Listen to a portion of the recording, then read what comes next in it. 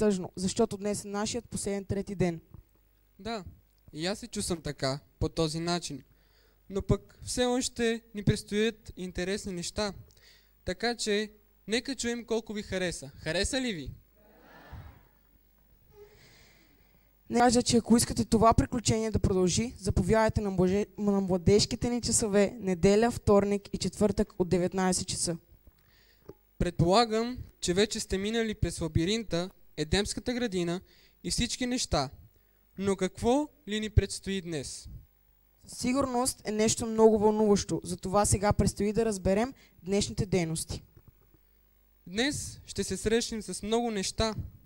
Неща, които ще променят нашето мислене и самите нас. Не знам дали помните, но първия ден ви казахме, че в себе си имате нещо много специално, което символизира вашата вяра. Дано да го пазите и да не сте го изгубили, защото за него ще получите една специална награда.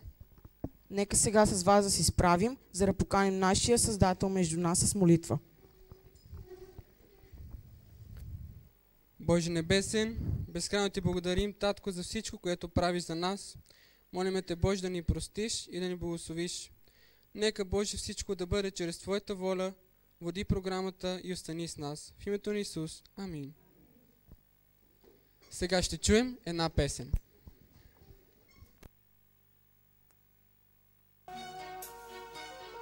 Само да вдигнеш аранжимент. Uprotu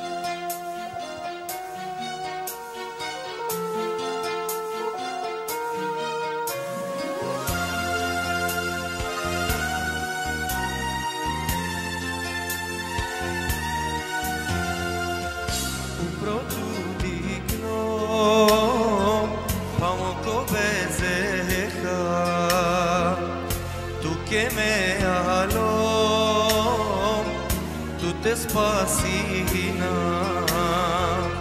Վեճնո ժիվոտոս մանգավ դու տես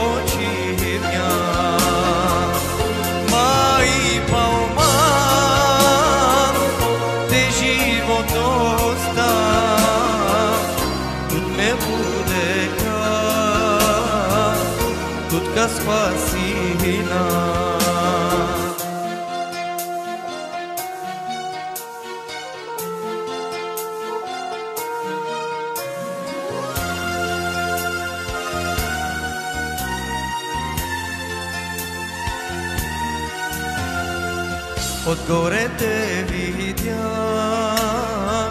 затворен в греха.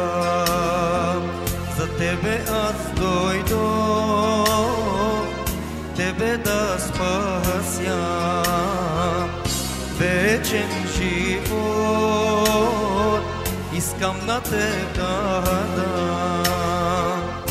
И от греха да те спася.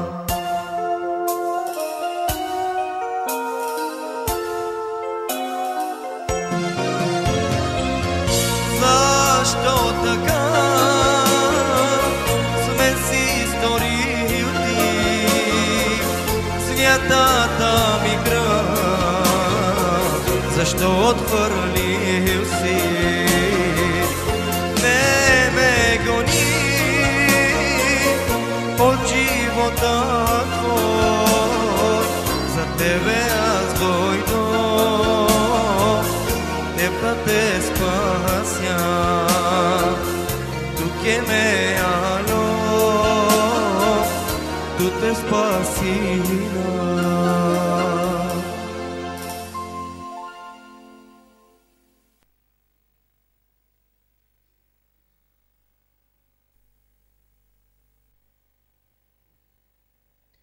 Сега за насърчително слово каним нашите стареши на нашата църква Асен Любенов, Саши Ганев, Владимир Иванов, Александър Даганов и нашия пастор Бисер Иванов.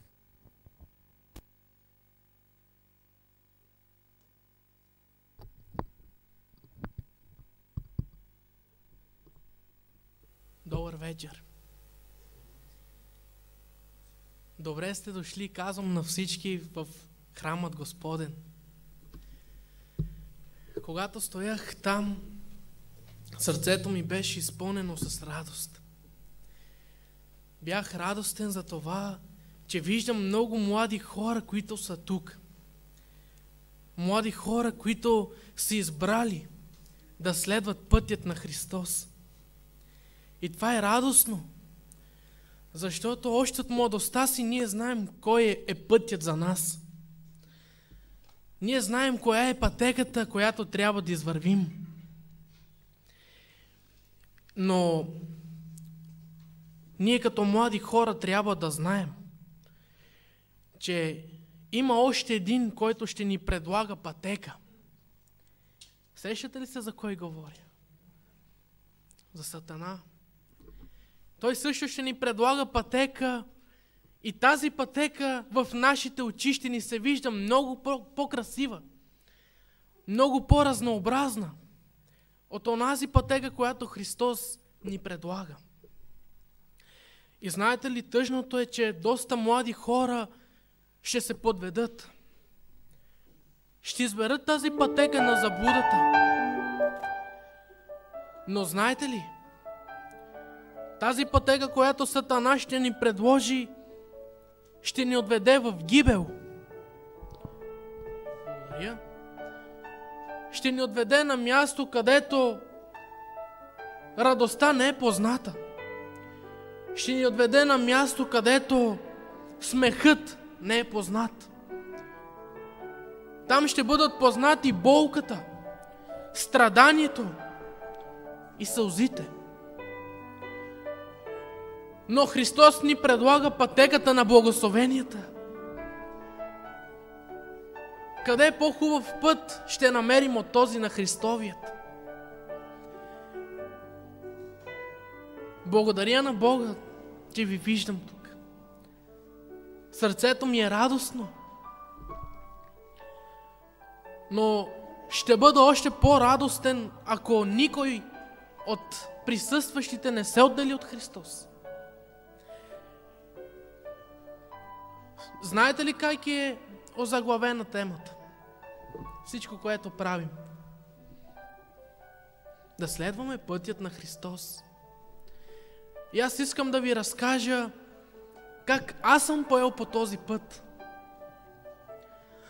Защото аз бях на вашата възраст, на, на вашата възраст, когато поех по този път.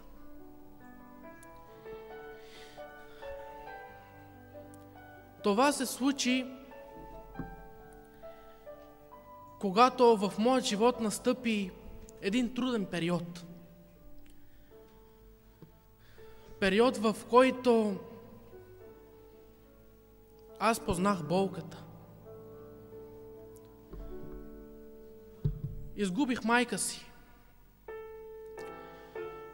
И пред Бога ви казвам, мислех, че ако тръгна по пътят на алкохола, на живота, ще се отеша.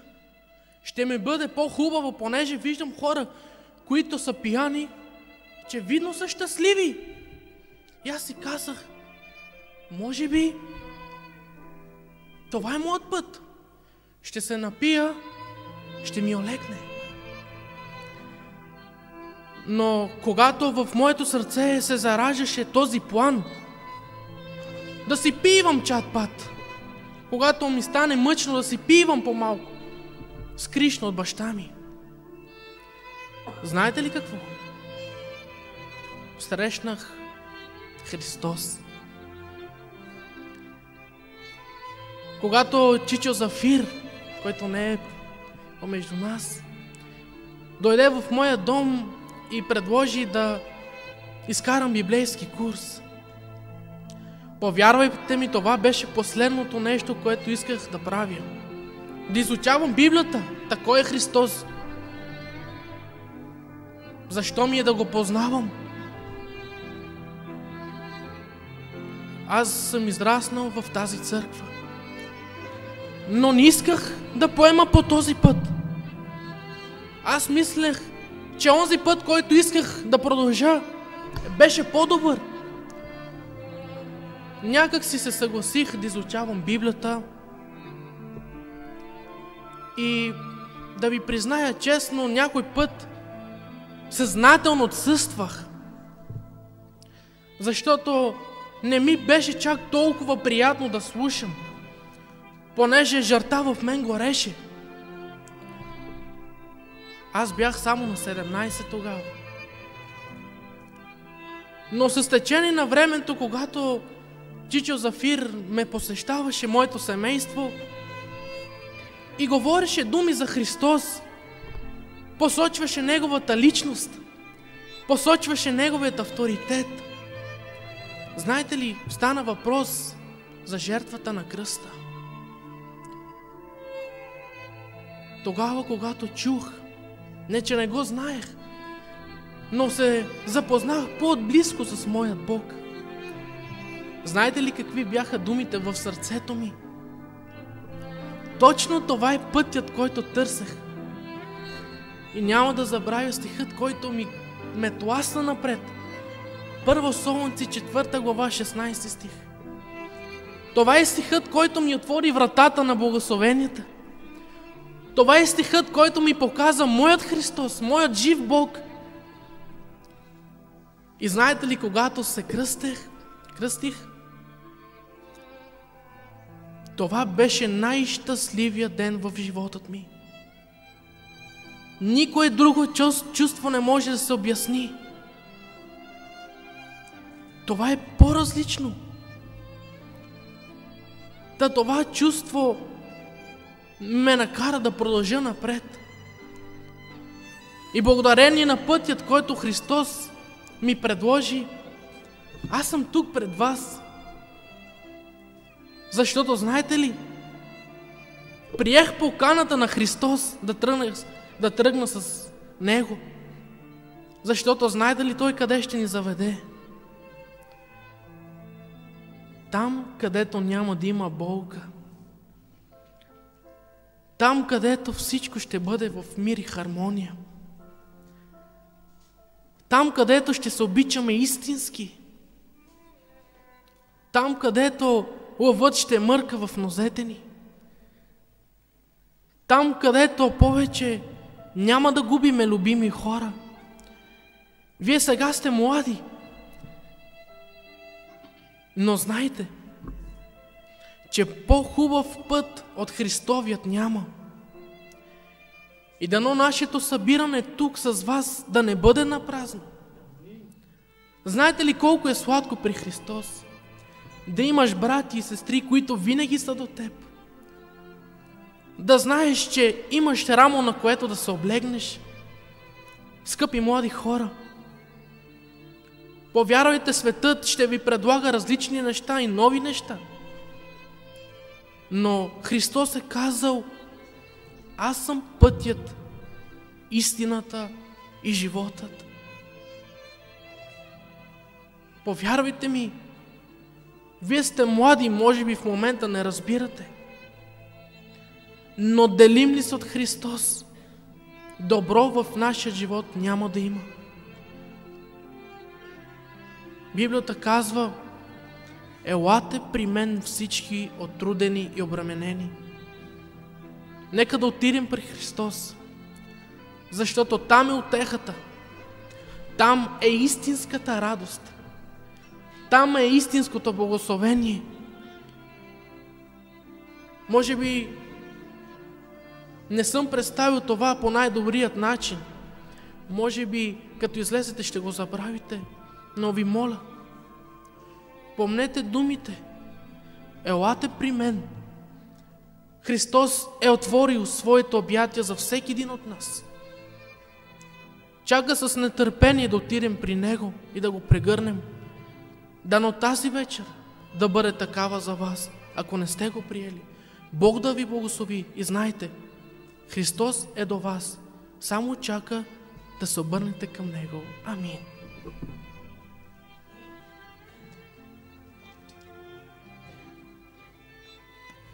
Скъпи приятели, всички ние, които живеем в днешния свят, се нуждаем от стандарти за сравнение, дори и примери за подражание. Скъпи приятели, роденият от Елисавета син, станал известен като Йоанн Кръстител. Твърде малко е записано за детството както на Исус, така и за Йоанн. Едно единствено изречение ни казва всичко, което знаем за живота на Йоанн. От, от раждането му до всеизви... всеизвестното му служене. А детенцето растеше и крепнеше по дух и беше в пустините до деня, когато се яви на Израел. Посланието на Йоанн, скъпи приятели, било кратко. Той проповядвал за вяра, покаяние, кръщение, чрез потапяне и получаване дара на Святия Дух. Не съм аз Христос, казал той на верните си ученици, но съм пратен преди Него. Аз ви кръщавам с вода, казал е той, но иде оня, който е по-силен от мене. Той ще ви кръсти с Светия Дух и с огън. Последвал кръщението на Христос, скъпи приятели, от Йоанн Кръстител, по-късно Исус свидетелства, между родените от жени не се е въздигнал по-голям от Йоанн. Всички ние, които живеем в днешния свят, се нуждаем от стандарти за сравнение и дори от примери за подражание. Скъпи приятели, Йоанн Кръстител ни дава безупречен пример на искрено смирение, тъй като той винаги се е позовава на онзи, който трябва да следваме. Спасителят на човечеството Исус Христос. Изучаването на останалите, които вярвали в Бог и следвали Неговите напътствия, ни нашепва. Млъкнете и знайте, че аз съм Бог. Когато те непоклатимо следвали Неговите заповеди и му вярвали, били благословени. Скъпи приятели, когато следваме примера им, ние също ще бъдем благословени по подобен начин в своето време и час. Всеки един ще стане пример за подражание. Всеки от нас обича чудесната история от свещеното писание. Колко ли трудно е било за Авраам в изпълнение на Божията заповед. Представете си да отведе собствения си син Исак в местността Мория и да го принесе там в всеизгаряне. Можете ли да си представите, скъпи приятели, мъката в сърцето му? Докато събирал дърва, отивал към указаното място. Болката сигурно е изгаряла тялото му и терзали и умът му. Докато връзвал Исак и го полагал на алтара върху дървата и разпъвал ръцете му настрани, изваждал ножа, за да заколи собствения си син. Тържествената присъда, която последвала, била приета с радостно изумление. Да не вдигнеш ръката си върху момчето, нито да му сториш нещо лошо. Защото зная, че, си, че се боиш от Бога, понеже не пожали собствения си син. Скъпи приятели, Авраам е пример за безспорно послушание. Ако някой от нас мисли, че неговите изпитания надхвърлят силите му, нека прочете историята за Йов. Правейки това, ще дойде чувството, щом Йов е могъл да изтърпи и устои, значи мога и аз. Йов е бил, словото ни казва, че е бил непорочен и правдив човек, който се боеше от Бога и се далечаваше от злото, благочестив поведението си, преуспяваш съдбата си. На него му предстояло, скъпи приятели, изпитание, което би могло да пречупи който и да е. Лишен от имотите си, изоставен от приятелите, нападнат от болести и сломен от загубата на семейството си. Той бил изкушен да похули Бог и да умре. Той устоял на това изкушение и от дъното на благородната си душа заявил Свидетелят ми е на небесата и свидетелството ми в височините. Зная, че е жив изкупителят ми. Йов се е превърнал, скъпи приятели, в пример на безкрайно търпение. И до днес ние казваме на онези, които са дълготърпеливи, че имат търпението на Йов.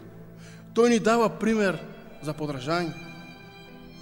Рут е един идеален пример. Усещайки разбитото от скръп сърце на свекърва си Ноемин, която оплаква смъртта на двамата си прекрасни сина, чувствайки вероятно гърчовете на отчаяние и самота, които изгаряли самата душа на Ноемин. Рут изрича онова, което става класика на предаността. Не ме умолявай да те оставя, да не дойда подире ти, защото гдето идеш ти, и аз ще ида. Гдето останеш, и аз ще остана. Твоят народ ще бъде мой народ и Твоят Бог ще бъде мой Бог. Действията на Руд, скъпи приятели, потвърдили скреността на думите й. Благодарение на неизменната преданост на Руд към Ноемин, тя се омъжила за Волс по-късно, чрез което тя, чужденка и покръстена Моавка, станала прабаба на Давид и по този начин прародителка на нашият Спасител Исус Христос.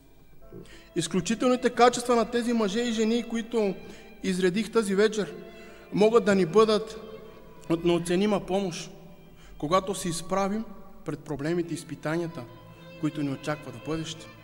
Докато пътуваме през смъртността и се сблъскваме с изпитанията и предизвикателствата на бъдещето, нека си спомняме примерите за подражание, които изброихме тази вечер. Нека да имаме, скъпи приятели, искреното смирение на Йоанн, безпрекословното послушание на Авраам, безкрайното търпение на Йов, неотклонната преданост на Руд. Нека винаги да бъдем напътствани от върховният пример Исус Христос, нашият Спасител, чието, живот сам по себе си представлява за нас превъзходен пример за подражание. Скъпи приятели, той бе роден в кошара, залюлян в ясли, той слезе от небето, за да живее на земята като обикновен смъртен и да установи Царството Божие. По време на земното си служене той научи хората на по-висшият закон. Скъпи приятели, славното му явление промени мисленето на целия свят. Той благословил болните. Той накарал сакатите да ходят, слепите да виждат, глухите да чуват. После дошли онези, които го отричат, когато те били запитани от Пилат какво да правя с Исуса, наречен Христос. Те закрещели разпниво. Те се подигравали с него. Дали му да пие оцет. Хокали го. Били го с трестикови пръчки. Плюваха го. Поругаваха го. И накрая го разпнаха. През всичките тези поколения във времето посланието на Исус оставаше същото, скъпи приятели. На Петър и Андрей край, край бреговете на красивото Галилейско езеро той рече следвай ме. За Филип от древността дойде призивът следвай ме. За Левита, който седял в бирничеството, дошла заповедта следвай ме. И за вас и мен. Ако ние просто слушаме гласът Божий, ще дойде същата покана. Христос ни къни тази вечер. Следвай ме. Молитвата ми тази вечер е към Христос. Не да следваме Христос с половинчато сърце, а с искрено, любящо сърце, който да бъде покорно на Господа. Нека Бог да ни благослови. Амин.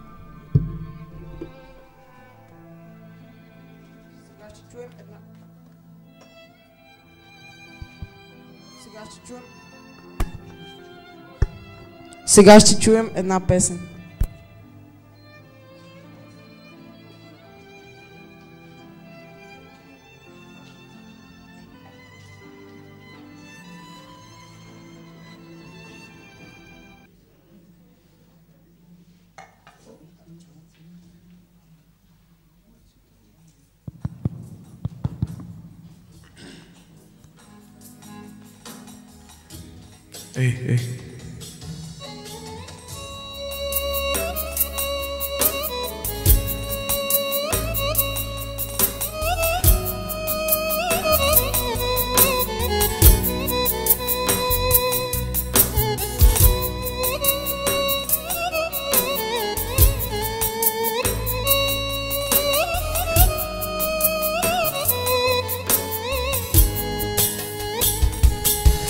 Грешим мангато теме.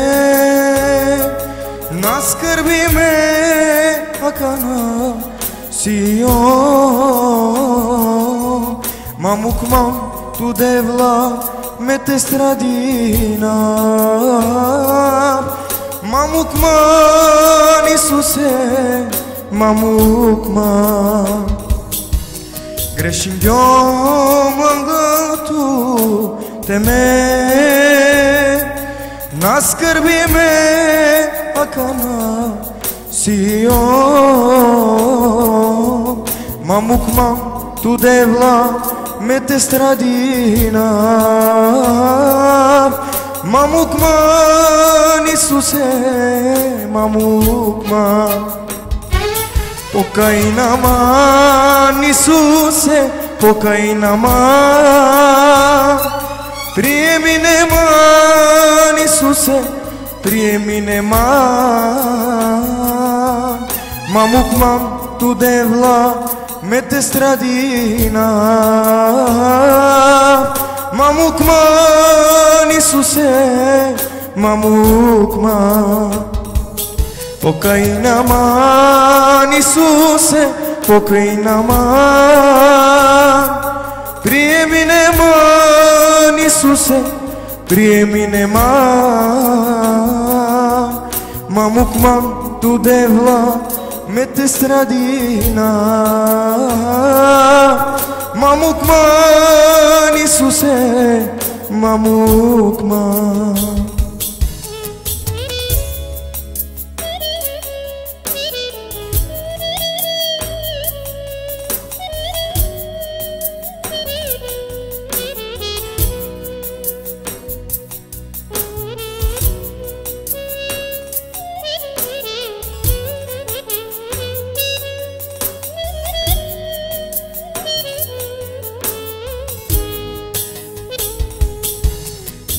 мамукман. Грешим мангато теме Наскърби ме акана сио Мамукман ту девла мете страдина Мамукман Исусе Мамукман Грешим мангато теме. Наскърби ме акана сио. Мамукман ту девла мете страдина Мамукман Исусе Мамукман Покай наман, Исусе, покай наман. Приеми неман, Исусе, приеми неман. Мамукман, ту девла, мете страдина. Мамукман, Исусе, мамукман. Покай наман, Исусе, покай наман. Приеми неман, Исусе, приеми неман. Мамукман, ту дева, мете страдина. Мамукман, Исусе, мамукман. Амин.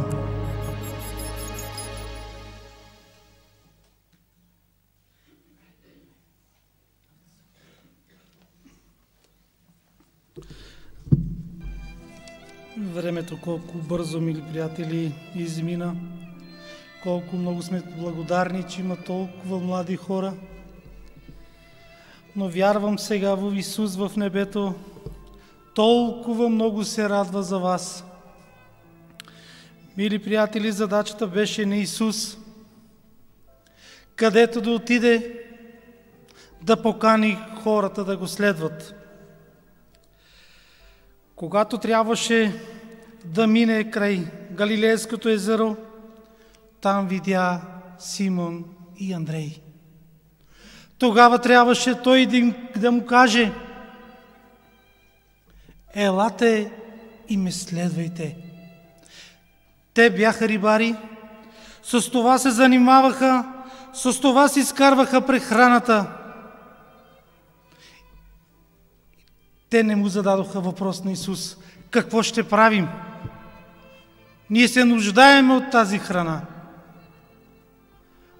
Но те тръгнаха по него. Елате, казва, аз ще ви направя да бъдете ловци на човеци. Това е задачата днес на младите хора. Днес Господ казва също на вас, елате и ме следвайте и вашият живот ще бъде съвършен. На следващия ден трябваше да открие Филип и казва, ела и ме следвай. Защо тия хора не можаха да кажат, че имат или нямат време, имат много работа, те тръгнаха. До кога Исус ще моли, мили приятели, нас? До кога ще има покана, ние не знаеме. Той вижда проблемите и казва, елате всички, които сте оттрудени и обременени, и аз ще ви успокоя. Тази вечер, ако имаш проблем, обърни се към Исус и Той ще даде утеха. Още Исус казва, че аз съм Възкресението, който вярва в, в мен, дори и да умре, ще оживее. Ако искате да вярвате, ако искате да живеете вечно, търсете пътя на Христос. Мили приятели, още Исус казва, когато дойдете при мен, аз ще ви защитя. Няма да се боите от нищо, защото аз съм твоят Бог. И тази вечер има покана към вас. Мили приятели, мили деца, радвам се, че толкова млади хора са тук. Нямаше възможност да приема толкова млад този Бог. Не го познавах. Но едва преди 26 години, мили приятели, Исус, когато ме покани, приех поканата, защото ако не бях приел, приел поканата на Исус, сега може би нямаше да бъда тук между вас. Нямаше да позная никой от църквата, защото алкохола ми повреди черният дроб. Може би вие не ме познавате така, но аз бех такъв човек, обичах много алкохол. И когато дойде поканата, когато разбрах, че този Бог е велик, че Той дава живот, за да може да живееш съвършенно, за да може да се радваш този Бог е велик. Ако искаш тази вечер да се радваш, приеми го. Исаия 45 глава казва, към мен се обърнете и живеете всички хора. Мили приятели, сега направете изборът. Кажете на Исус, че искате да го следвате. Не се срамувате от Него. Вие сте толкова млади и трябва да бъдете, да работите. Исус казва, вие, младите, трябва да работите. за да кажете за Неговата любов, която беше там на кръста, която ви висеше, който казваше, прости им, Отче, те не знаят какво вършат. Мили приятели, много хора не знаят за тази любов и мислят, че толкова са грешни, че Исус не ги познава. Това е задачата. Днес приемете тази покана от Исус. Няма време, мили приятели, пожелавам на всички, които ще приемат Христос. Има един случай в Деяние на апостолите, 7 глава, 55 стих. Вие чухте за този Стефан, който следваше Бога и дори когато трябваше да умре, той гледаше към небето. И видя там Исус, което седеше отясно на своят Отец. Ако приемеш Бог тази вечер, Исус ще даде възможност тази вечер и ти да си там, когато дойде Христос и ти ще седнеш отясно до Исус, този Исус, който казва обичам те. Дори каквото да направиш, аз те обичам. Мили приятели, мили деца, много се радвам, защото няма друга църква да видите толкова млади хора. Благодаря на Кирчо, благодаря на неговите приятели, които му помогнаха. Това днес да видят очите ни. Но Исус и Неговите ангели също виждат тази вечер. Моля ви от сърце, направете вашият избор тази вечер и приемете поканата. Няма да съжалявате, ще видите, ще кажете, защо не съм го приемал по-рано. Нека Господа ни помогне. И когато го приемеме, да бъдем като Стефан, наистина да му служиме от със сърце. Нека Господа ви благослови. Амин.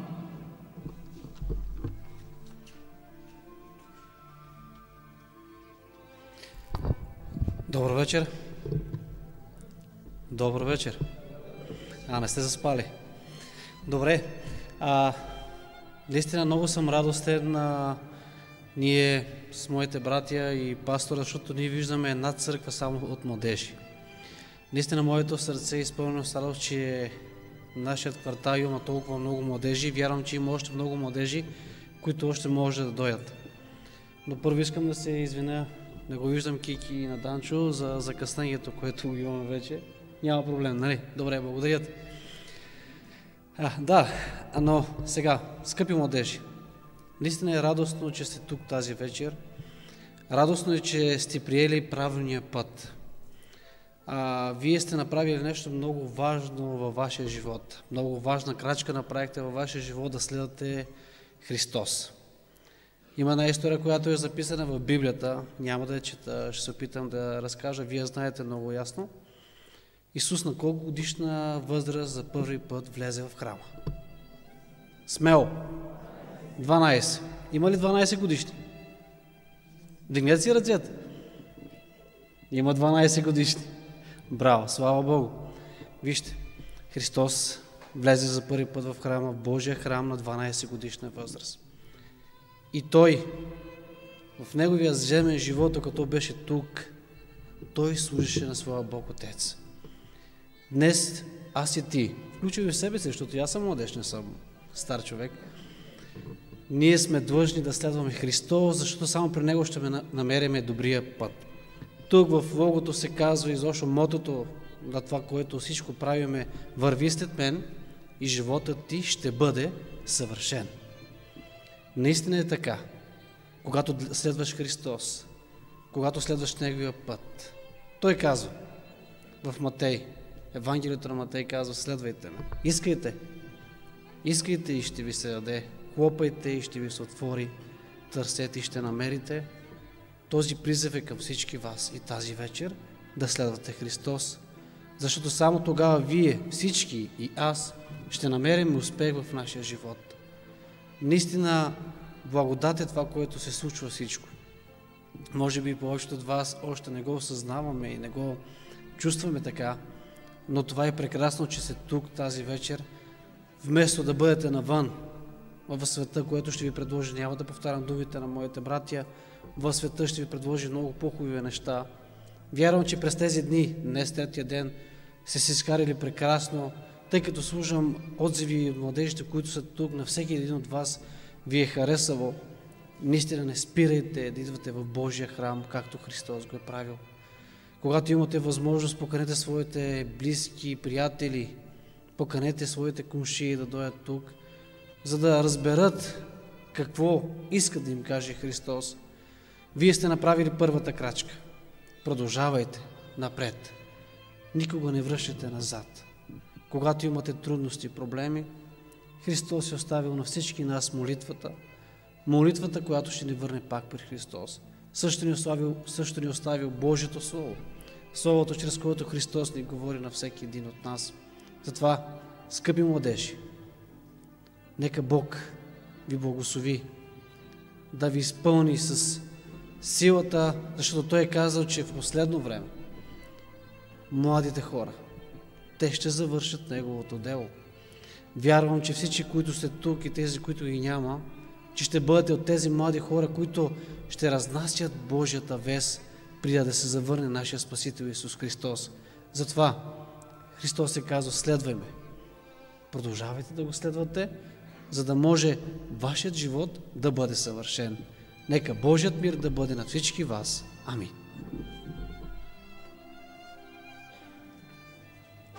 Скъпи младежи, всичко започва от коленете, които превиваме пред Христа. Когато бях дете, около 15 годишна възраст, влязох в тази църква. Даже ние нямахме църква. Помня как отивах там някъде сред дръвчетата, опъвахме на елон и седях долу на земята, за да слушам скъпото Божие Слово. Бях само на 15 годинки. Бързо мина времето. Вече косите ми побеляха. Някога бях малък, а сега хората говорят вече, че съм навлязал в една приятна възраст.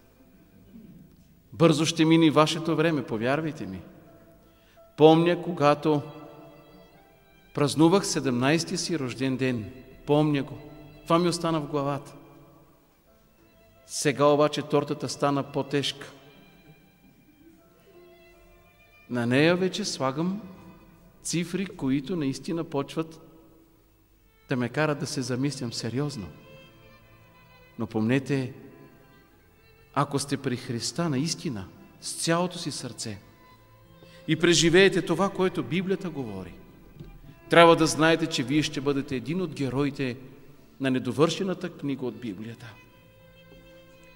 Затова прекланям коленете си пред Отца, нашият Господ Исус Христос, от когото носи името си всеки род на небесата и на земята, да ви даде според богатството на славата си да се утвърдите здраво чрез Неговия дух във вътрешния човек, чрез вяра да се всели Христос във вашите сърца, така че вкоренени и основани в любовта, да бъдете силни да разберете заедно с всички светии какво е широчината и дължината, височината и дълбочината, да познаете Христовата любов, която никое знание не може да обгърне.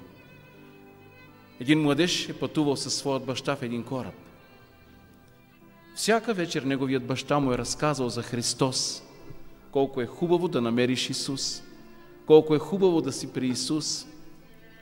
И тогава точно стигнали до този стих, за да познаят Христовата любов. Но заедно с всички светии, що е широчината, дължината, височината и дълбочината на Христовата любов. Бащата се опитвал да обясни на детето си. Младежът дигал рамене и не може да схваща. Тогава бащата казал, погледни напред. И той погледнал напред към кораба. Това, което виждаш, Запомни го. Защото, скъпи приятели, това, което говори бащата, е всъщност било дължината. Сега погледни в страни. Погледнал младежът. А това, запомни, че е широчината. Погледни сега нагоре към платната. След това погледни към облаците. А това е височината. Сега погледни надолу към океана.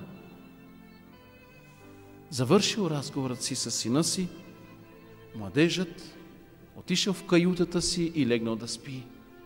Но в мисълта му е било какво означава височината, широчината, дължината. И знаете ли, посред нощ се събудил. Татко, разбрах!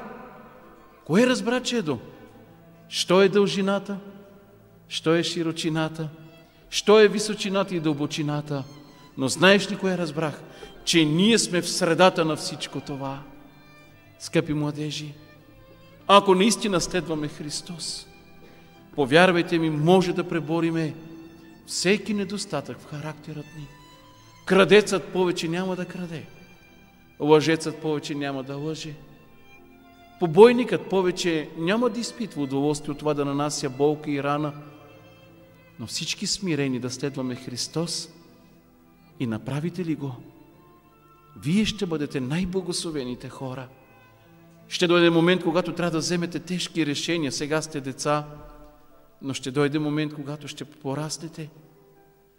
И както вие сте се държали за ръцете на вашите родители, ще дойдат някой ден и ваши деца в живота ви. И те ще ви питат. И вие ще сте длъжни да отговорите. И ще сте длъжни да ги научите. Но на какво? Да следват Христос, за да може животът ни да бъде съвършен. Амин.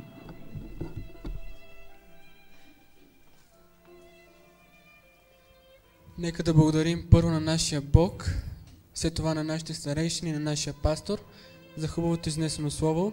Сега ще чуем една песен.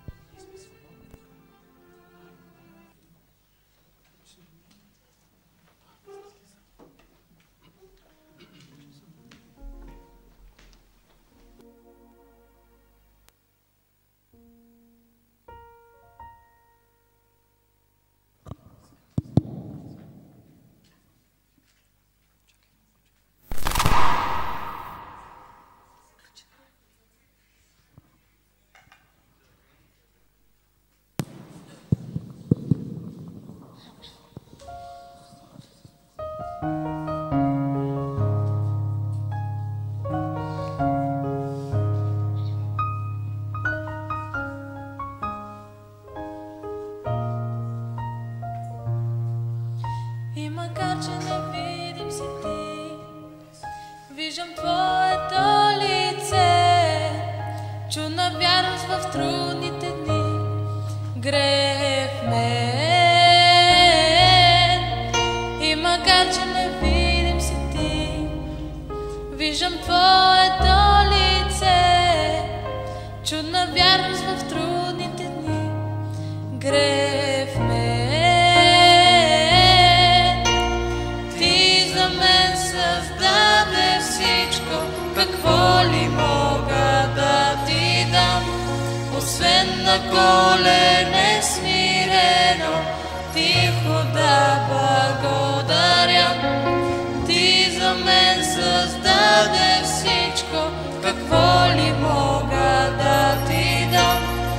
Освен на колене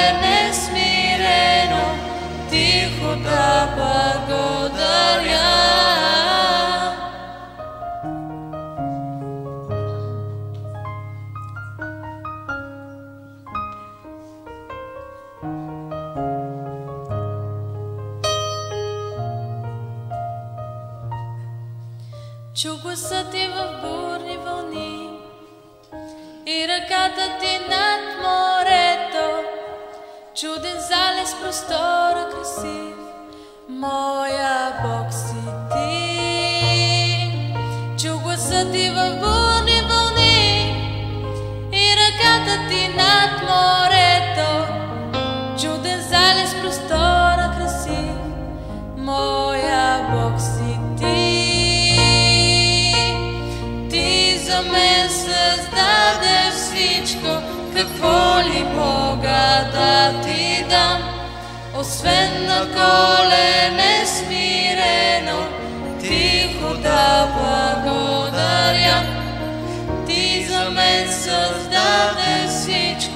Какво ли мога да ти дам? Освен на колене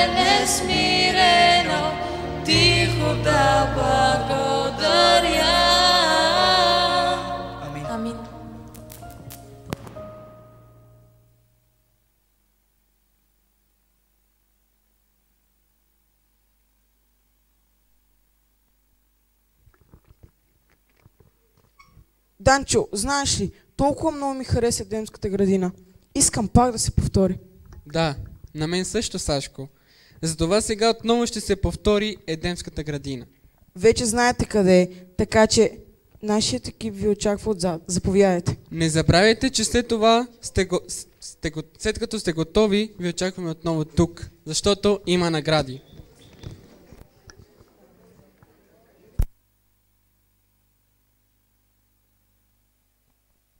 Само не се бутайте.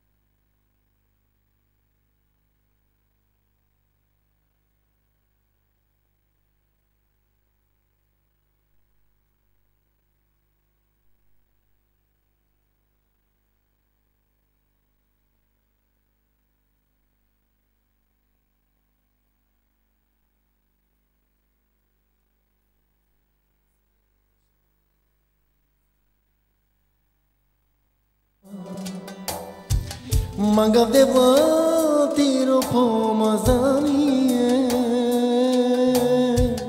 Te vodine omam ufate Ela ewa tuate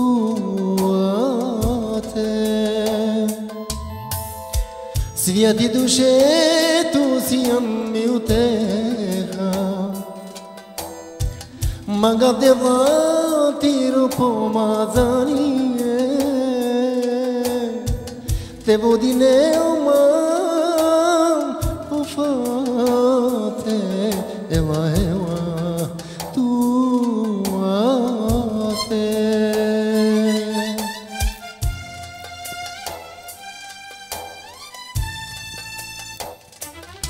Само дел, само дел, tu siam Mire bezeha tu lilan Алелуя, вечна слава тук е пена Алелуя, вечна слава тук е Само дел, само дел, tu siam Mere bezeha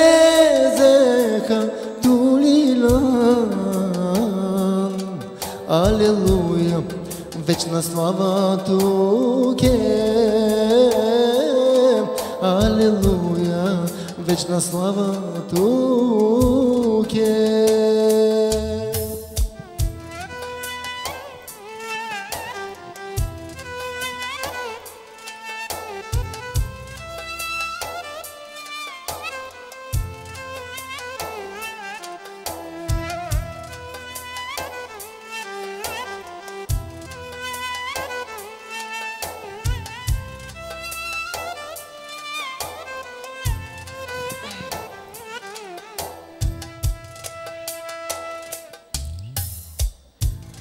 Ти си радостта в моя земен живот.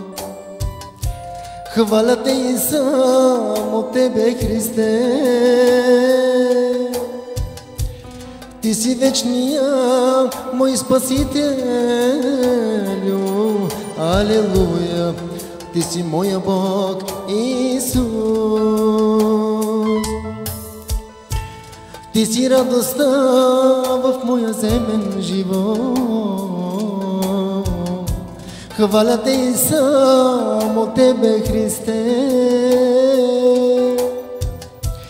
Ти си моя Бог, Спасителю, Алелуя, Ти си моя Бог, Исус.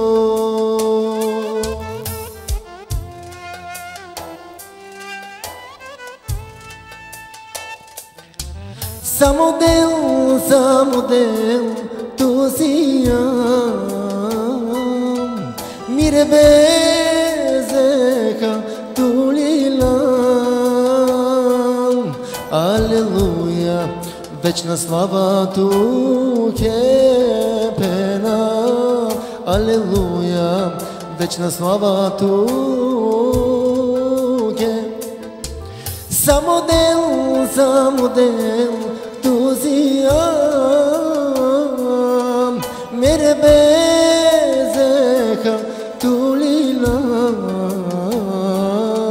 Алелуя, вечна слава туке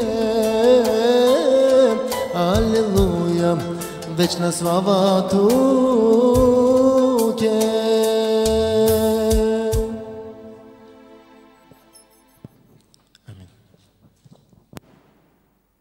Е, дойде мига, в който ще раздадем вашите награди. За тази цел ще поканим нашия младежки ръководител Кирчо Данчев.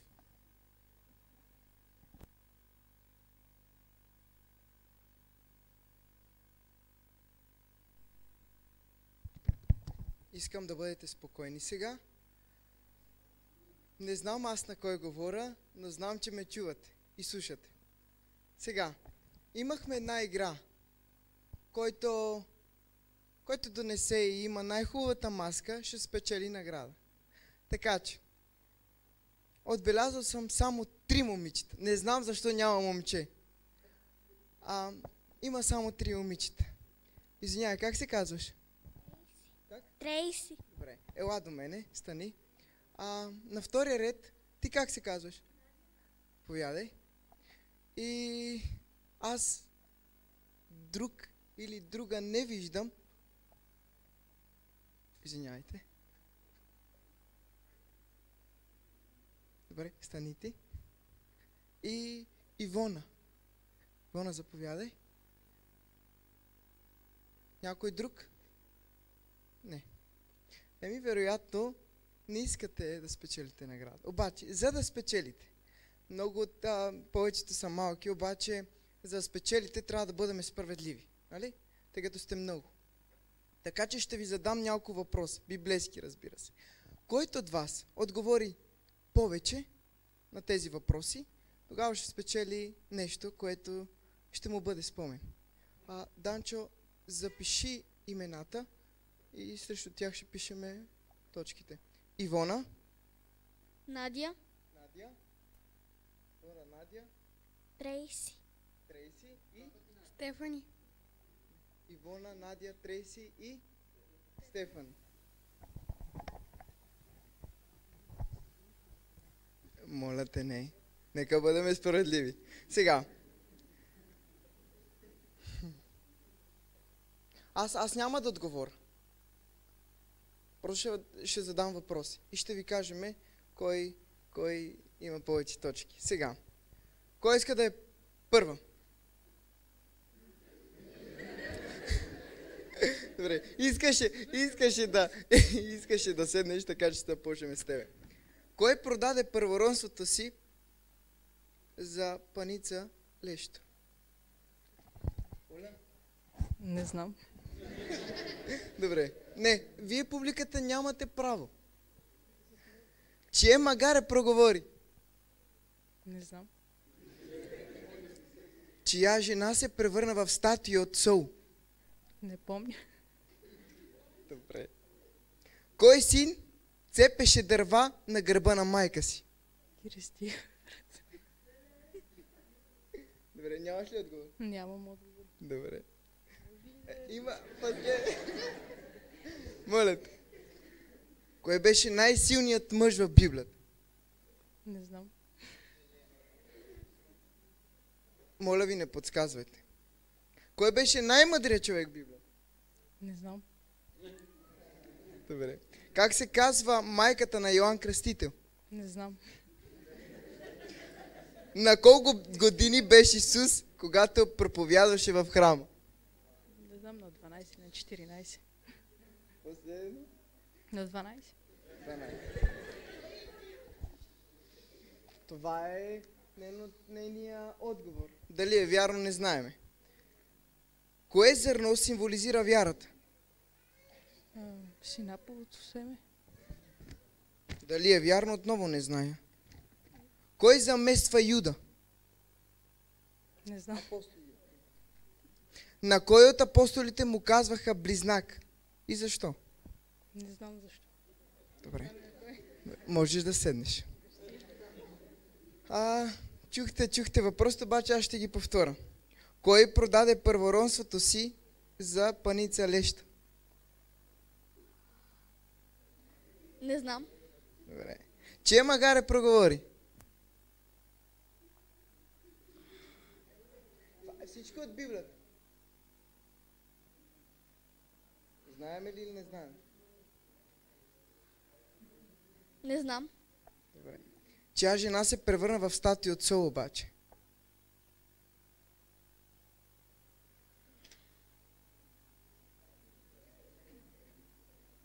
Не знам.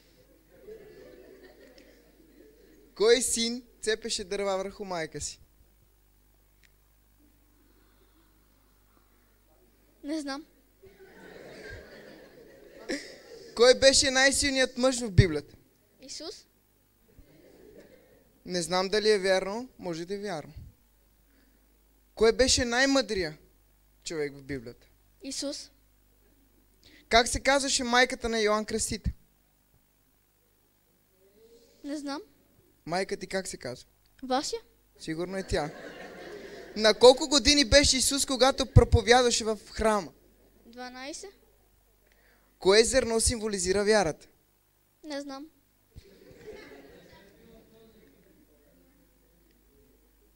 Как се казва младежкия ръководител?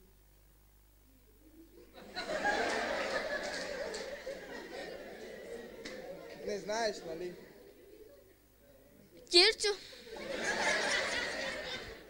Кой замесва Юда? Апостол Юда. Не знам. Добре. Може да седнеш на мястото си. Сега, може би, имате леко представа какво става вътре. Така, кой продаде първоронството си за паница леща? Исак? Какво браво? Може да не е вярно. Че магаре проговори? Не знам. Дом имате ли кон? Добре. Чия жена се превърна в статуя от сол? Не знам. Кой син цепеше дърва на гърба на майка си? Не знам. Кой беше най-силният мъж в Библията? Исус? Кой беше най-мъдрият човек в Библията? Не знам. Спокойно. Как се казва майката на Йоанн Кръстител? Не знам. На колко години беше Исус, когато проповядваше в храма? На 12. Е, сега е на 33. Кое зърно символизира вярата? Не знам. Кой е младежкият ръководител? Не знам. Добре. значи, майка, баща са кръстени тук и вероятно трябва да знаеш. Ако не знае вашето момиче, трябва да го научите. Аз не ви виждам. Така, кой продаде първоронството си за паница лещ? Тате, знае ли? Че, чие магаре проговори? Не знам. Чия жена се превърна в статуя от сол? Не знам. Кой син цепеше дърва на гърба на майка си? Стой, мисли. Исус? Върху Мария. Кой беше най-силният мъж в Библията? Не знам. А най-мъдрия? Не знам. Как се казва майката на Йоанн Кръстител? Не знам. На колко години беше Исус, когато проповядваше в храма? 12. Кое зърно символизира вярата ни? Не знам. Добре. Кой замества апостол Юда? След като той, той се обесва и загива. Не знам. Добре, може да си седнеш.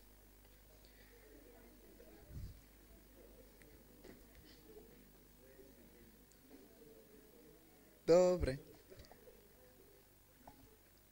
Какво чакате? Ивона има една точка. Нади има една точка. Стефани има една точка. Трейси, къде? е? Заповядай, ти печелиш нещо, което трябва Заповядай.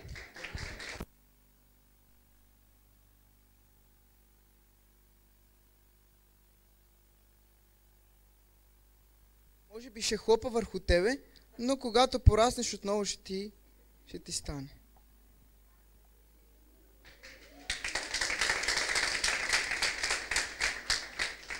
И отпред пише един стих, който ще го прочетеме сега.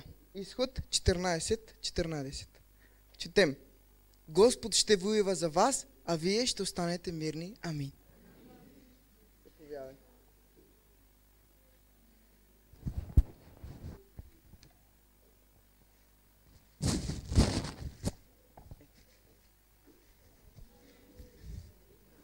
Сега.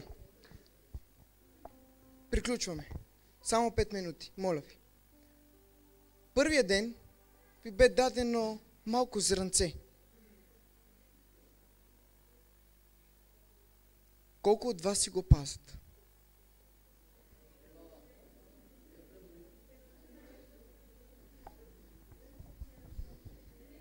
Тези, които го пазят, моля ви. Това беше едно изпитание. Много от вас са си купили такова зърнце. Раз... Знам, разбирам. Ако запазихте това малко зрънце, наречено синапово зърно, това означава, че вие устояхте до край.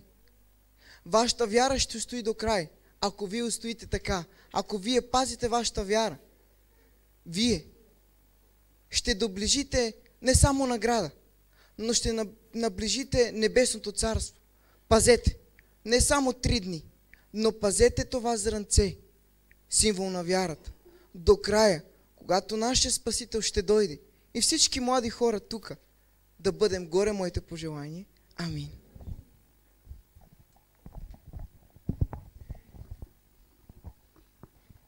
Е, приятели, дойде мига, в който трябва да приключим с нашето младежко приключение. Но ако искате това младежко приключение да продължи, Заповядайте на младежките ни часове. Неделя, вторник и четвъртък от 19 часа. Сега нека се справим и да запеем посочената песен на таблото.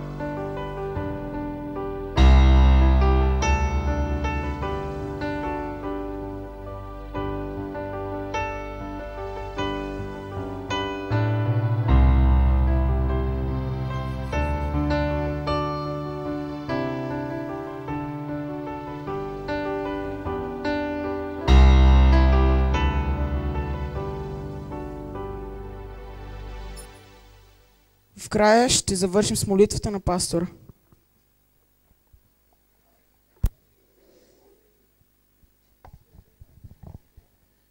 Боже Небесен, ние благодарим, че в младостта си може да намерим сигурност при Теб, можем да намерим чудни съвети, да намерим родител, който ни наставлява как да живеем в младостта си, за да се предпазим от грешки.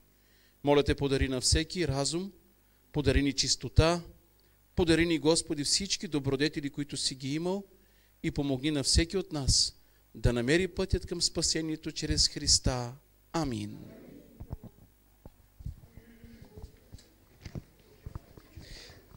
Нека да си кажем пожеланието, а то е ако Бог е, от, ако Бог е от към нас, кой, Кой ще, ще бъде, бъде против против нас? нас? Три, четири. Ако Бог е от към нас, кой ще бъде?